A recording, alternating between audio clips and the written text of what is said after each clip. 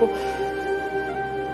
वो हिसाब का उसूल होता होगा कि दो में से एक निकालो तो एक बचता है।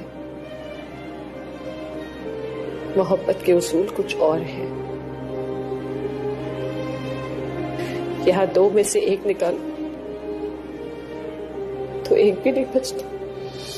तुम्हें दिल लगी भूल जानी पड़ेगी।